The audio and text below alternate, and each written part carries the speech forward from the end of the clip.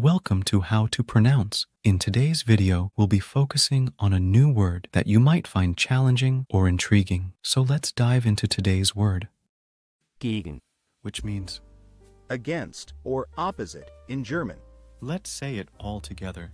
gegen, gegen, gegen, One more time.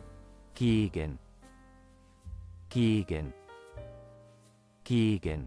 Thank you for joining us on this adventure in pronunciation.